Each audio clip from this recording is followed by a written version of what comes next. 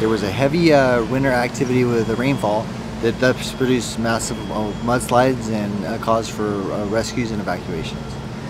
So right now our main concern, our main focus is search and rescue. So we're searching the residents that have been uh, damaged or destroyed for the mudslides, also to confirm if there are people who are still trapped and needing evacuation. As far as fatalities, we have 17 confirmed fatalities. There are 28 confirmed injuries and also now there are seven missing victims. I would urge and CAL FIRE urges the public to stay informed of the weather, also to have their evacuation kits packed and prepared to evacuate at a moment's notice.